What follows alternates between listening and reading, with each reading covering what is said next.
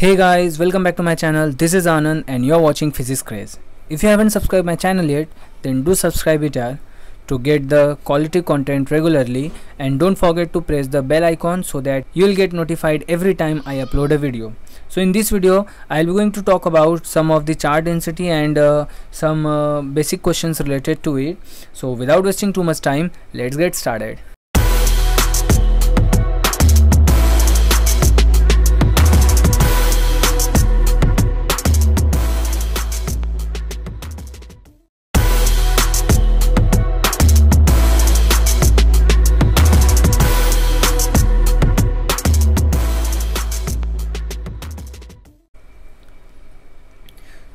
So we'll start with charge density. So there are three kinds of charge density linear, surface and volume. So what is in by linear charge density? It means let's consider we have a rod in some of the axis, one axis only and we have distributed some charge over it. So we'll say this kind of distribution as linear charge distribution and this linear charge density uh, we generally denote it by lambda in most of the question you will directly have lambda it means it is a linear charge density now how do we represent lambda? Lambda can be written as charge divide length. Charge divided by length.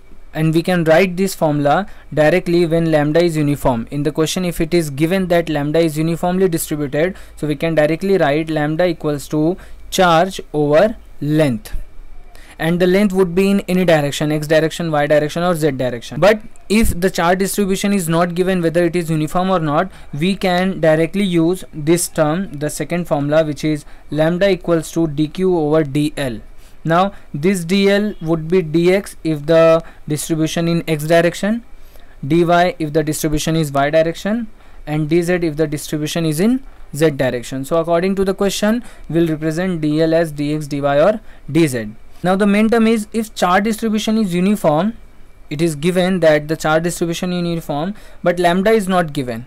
So we can combine these two formulas and we can write dq over dl equals to q by l.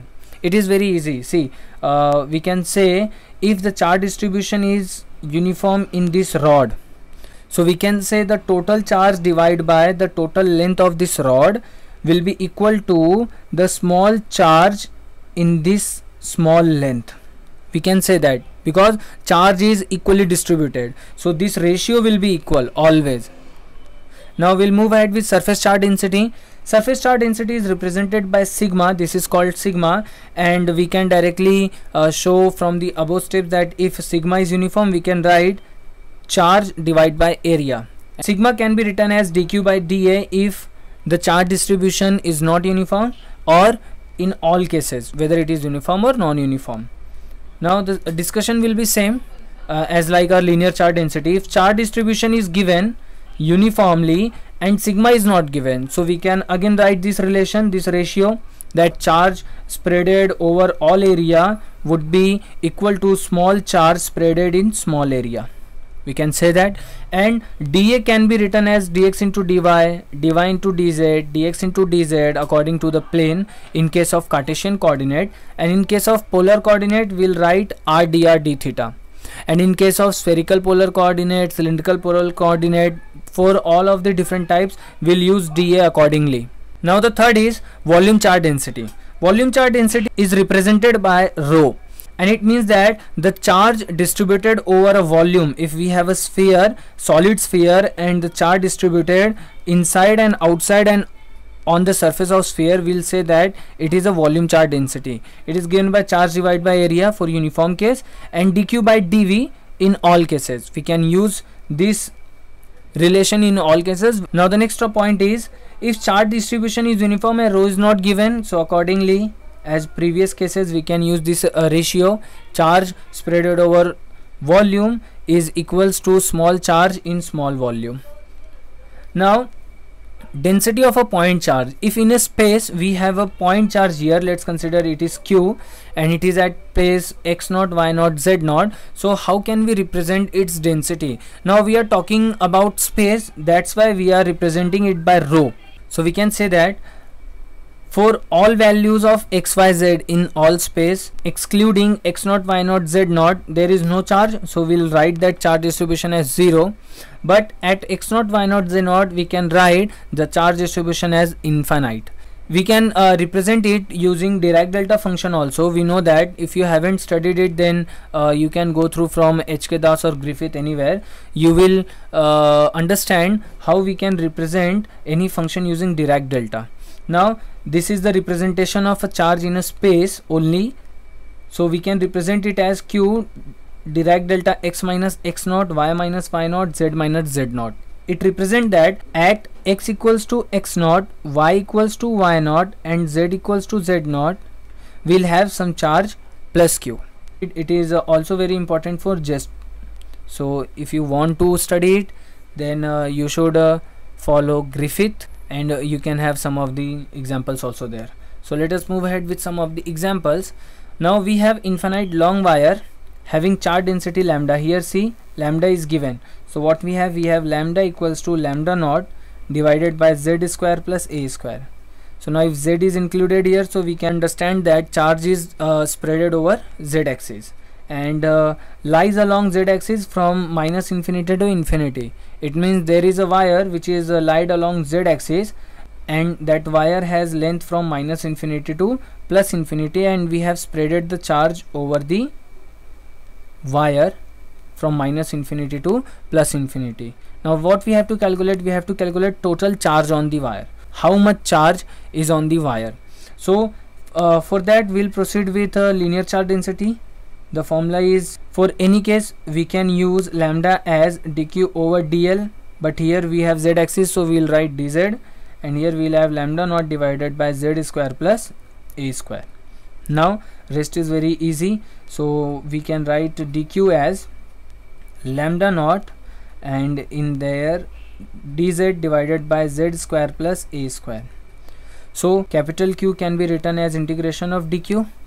So we'll write q as integration of dq it means integration of lambda naught dz divided by z square plus a square. And what is the limit for z? We have the limit for z minus infinity to plus infinity. So we can put it here. And the q net or the capital q can be written as lambda naught and uh, in integration we'll have plus minus infinity to plus infinity dz over z square plus a square. Z square plus a square. And we know this kind of integration so we can write lambda naught and multiply by 1 over a tan inverse z by a. And the limit would be limit would be minus infinity to plus infinity. Now we can write here lambda naught by a and here we'll have tan inverse tan inverse infinity minus of tan inverse minus infinity. Now tan inverse infinity it is pi by 2 and tan inverse minus infinity is minus pi by 2 and this minus this minus would be plus so pi by 2 plus pi by 2 would be pi. So we'll have net charge on the wire would be lambda naught pi divided by a. So this kind of question uh, it's been asked in uh, one of the exam one of the year in JAM also. So this is very easy. You just have to know the basic rules of integration. So we'll move ahead with the next question. Now we have area. We have a triangular sheet in the diagram. The vertices are we can say at 0 comma 0 at a comma 0 and at 0 comma 2a and has surface charge density sigma equals to alpha xy see here we have the relation of uh, charge density sigma equals to alpha xy. And we know that sigma is for surface charge density. We can write sigma as dq over dA. dq over dA. And here on the right hand side we'll have alpha xy. So here we have x and y axis. So we can write dA as dx into dy. dx into dy. So we'll write dq as alpha xy. And dA we can write dx into dy so what we have to calculate we have to calculate total charge on sheet so from the previous one we can say total charge or q net can be written as integration of dq. And integration of dq is alpha xy dx into dy. But here I have that uh, triangular sheet in uh, xy plane. So we can write the equation of the lines which is making that triangle. So here we can write this is the line which is uh, y equals to 0 this is the line which is x equals to 0 and this third line this one. If you'll see let me use another pen. You can easily identify this third line. And we know how to find the equation of this line if it is making some coordinates on x and y axis both. So here we can write it is as x1 y1 and it is as x2 y2 and how to write the equation of a line passing through two points. We know that. Here we can write y minus y1 equals to y2 minus y1 divided by x2 minus x1 and multiply by x minus x1 this is general formula to find the equation of line passing through two points. Now y1 is what? 0 and x1 x2 we have all. So we can write here y equals to y2 minus y1 is 2a and here we will have x2 minus x1 is minus a and here we will have x minus a. So what is the equation of line we got? We got y equals to a minus x. Y equals to a minus x. So here we have got the variation of y with respect to x. So for this kind of integration what we're gonna do? We're gonna vary y from 0 to this line from 0 to this line line is a minus x. And after that we'll put the value of x. So what we can do we can write q net as integration of alpha x dx and integration of y dy. And here we have limit of y from 0 to what? 0 to a minus x. So we can write here 0 to a minus x. Now we'll have integration of alpha x dx 0 to a minus x. So for that we can write here y square divided by 2 and 0 to a minus x. We can put the values alpha x dx divided by 2 in bracket a minus x whole square. So here we have got the terms in uh, x form only. So we'll write the variation of x and x is varied from 0 to a. So we'll write here the limit of x as 0 to a. So we'll solve it by alpha by 2 and uh, let's expand the bracket. We'll get 2ax plus x square. Now we'll do the rest is very easy. A square x minus 2ax square plus x cube dx and the limit of x is from 0 to a. So after solving this you will get alpha by 2 and in whole bracket we can write a square into a square by 2 i'm writing this directly. You can do this uh, step by step. And here we'll get 2a into a cube by 3 plus a power 4 by 4 so here you have got these terms. Alpha by 2 in bracket we have a power 4 by 2 minus 2 by 3 a power 4 plus a power 4 by 4 now rest is very simple algebraic equation. You can solve it and you will get the value of q net. So we'll move ahead with the third question. We have done for linear charge surface charge and here we have volume charge density. But here the relation is not given. See a sphere of radius r has total charge q. Now it is given that the sphere where he, we have a sphere and here we have total charge as q spreaded over the sphere. If volume density of charge is directly proportional to distance from center. It means we have rho is directly proportional to r which is radius of this sphere. So we can write rho is equals to kr and here what is k? k is some constant. So we have to find the value of constant. See in mechanics in emt everywhere if we are introducing some constant so we need to calculate its value also. So don't forget at last we have to put the value of k also. But now we don't know. Then find its charge density. We have to find the value of rho which is kr. We know but we don't know the value of k. So ultimately we have to find the value of k. So for that what we can do we can use this term. Here we have total charge as q. So we can write rho as dq over dv. And we can write this as dq equals to rho dv. And q net which is the total charge can be written as dq. And here we can write rho dv. So we have q we have rho and what is the formula for dv? In case of a spherical coordinate we have the formula for dv as r square sine theta dr d theta d phi